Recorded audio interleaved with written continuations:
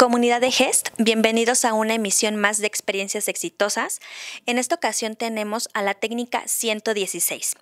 Ellos poseen este año el segundo lugar en el galardón Amanda Rimoch. Recordemos que el galardón Amanda Rimoch, la temática es la ecosustentabilidad, o sea, la protección a nuestro medio ambiente.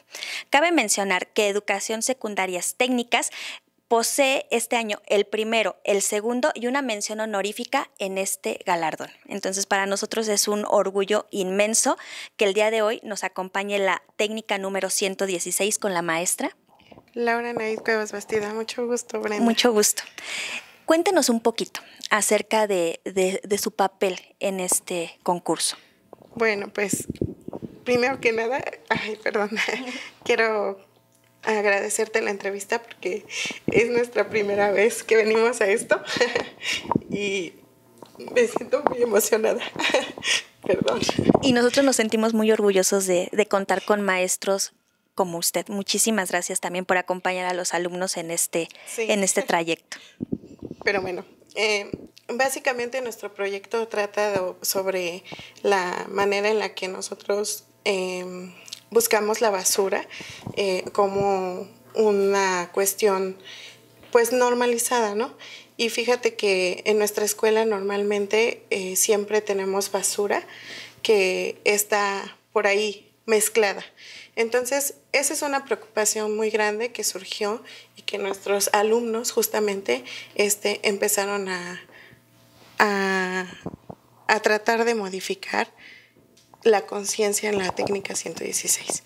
Y bueno, nosotros pretendemos hacer una pared ecológica en donde pues justamente se junte el agua pluvial de uno de los edificios para que nosotros podamos ocupar esa agua y justamente eh, pues recuperar un poquito de lo que el agua no, tenemos en nuestra alcaldía, ¿no? Eh, una, de los, una de las problemáticas mayores en, en Tláhuac es justamente esta, el, agua, y pues justo por eso es que mis alumnos y yo eh, observamos esta problemática y nos, pues nos pusimos a investigar, a indagar cómo podíamos hacer algo para proteger esta parte del agua.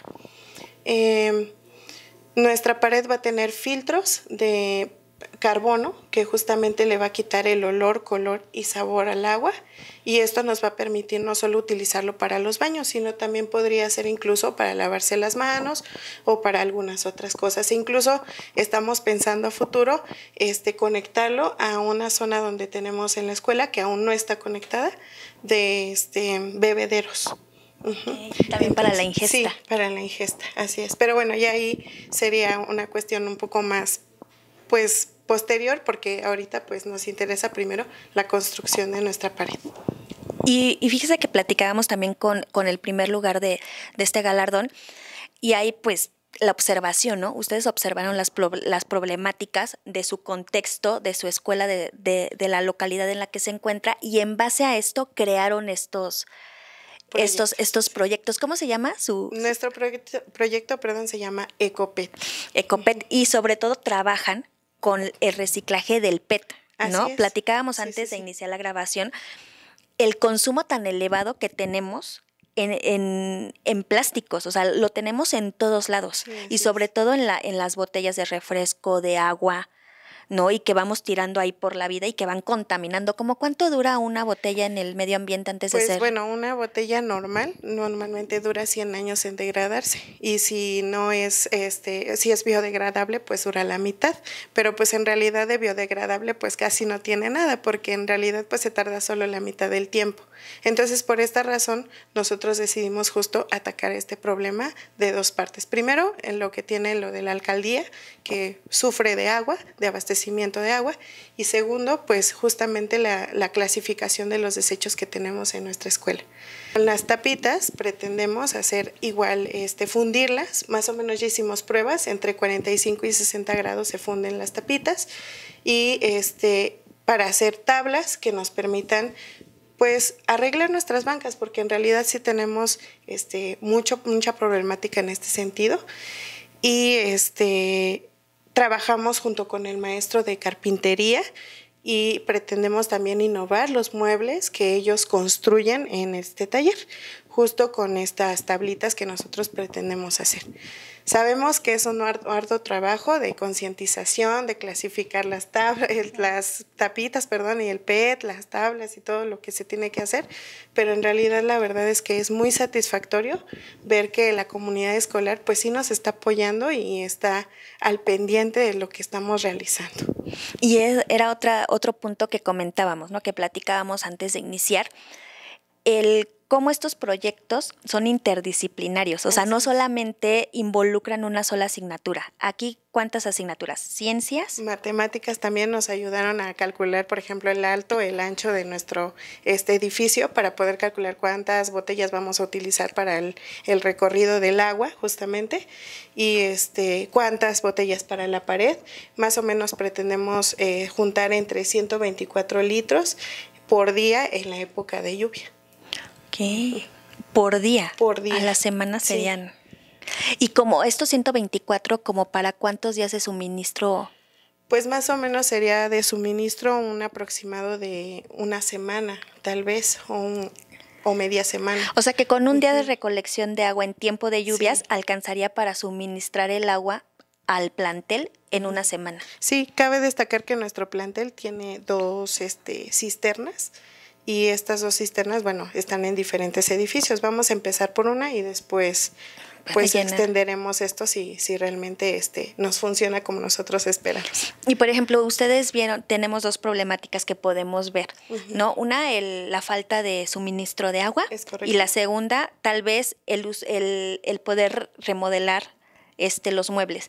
¿Las dos las vieron de inicio o un o la o alguna surgió después ya en el en el trayecto de, no, del las dos este, fueron de inicio y eso pues nos permitió justamente eh, visualizar eh, pues esto ecosustentable que, que nos pedía el proyecto porque sí en realidad eh, pues decíamos, bueno, vamos a recolectar las botellas, pero ¿y las tapas? ¿Qué hacemos con ellas? Entonces es por eso que nosotros buscamos esta, justamente esta alternativa que nos permitiera pues hacer esto que, que te platico. Y en el reciclado, perdón, de, la, de las botellas, ¿también involucran la etiqueta? Ah, bueno, esa, la, retira? la retiramos y esa sí, este, pues pretendíamos hacer algunas bolsitas o cosas así, pero la verdad es que intentamos, pero no funcionó. Entonces, por esta razón las, las descartamos. Muy bien. Bueno, de todo el producto, al menos la mayoría de la mayoría de él se, se ocupa. ¿Y qué tienen pensado o cómo manejan el reciclado de estas etiquetas? Bueno, eh, las etiquetas nada más se, se, ponen aparte, en un contenedor aparte, y ya cuando viene pues el recolector de basura, se les, se les entrega, porque no hay otra función realmente que, que podamos utilizarla. Ok. ¿Qué consejo le darían a los profesores? Sobre todo porque a lo mejor podemos tener como, está al momento de, de, implementar estos proyectos, ¿no? El cómo los relacionas con otras asignaturas. ¿Qué consejo le, le daría usted? Bueno, pues yo creo que nosotros como docentes conocemos que dentro de, de, nuestro papel está la interdisciplinariedad y la transversalidad de las asignaturas. Entonces, yo creo que habría que observar más a nuestros alumnos, sus intereses, escucharlos. Y, y, a partir de ahí, pues ver qué asignaturas me pueden favorecer para cumplir esta parte, ¿no? Entonces yo creo que eso es lo más importante y sobre todo pues tener esa disposición. A veces eh, nos falta un poco de disposición hacia las problemáticas que suceden en nuestro entorno y nos hacemos este, de vista ciega y decimos aquí no pasa nada, pero en realidad sí pasa y pasa enfrente de nuestros ojos y yo creo que nosotros somos el parteaguas para que las nuevas generaciones pues cambien su chip de pensamiento, ¿no? Cambien esa manera de, de ver el mundo y de ayudarles, por supuesto, este, en esto del cuidado del medio ambiente. Sí. De ver y de relacionarse con él, ¿no? Porque constante, pues, somos seres que estamos en constante contacto unos con otros y con nuestro medio ambiente, entonces es muy importante el crear esta cultura del reciclaje, del cuidado, del tal vez la reducción de algunos de algunos insumos, ¿no? Sí, Pudiera ser muy importante. ¿Qué más le gustaría compartirnos para ir cerrando nuestra cápsula? Pues nada, solo en verdad estoy muy agradecida por, por esta oportunidad y este pues esperamos eh, nos sigan y ver el resultado justo de, de este proyecto que la verdad es, a lo mejor suena muy ambicioso, pero de verdad que yo creo que sí lo vamos a lograr. Nosotros también creemos. Muchísimas gracias. Muchas gracias este, por acompañarnos y por acompañar a sus alumnos en la realización de este proyecto. Muchas gracias. El medio ambiente se los agradece, de verdad. Muchas gracias, Miss. Muchas gracias. Nos vemos.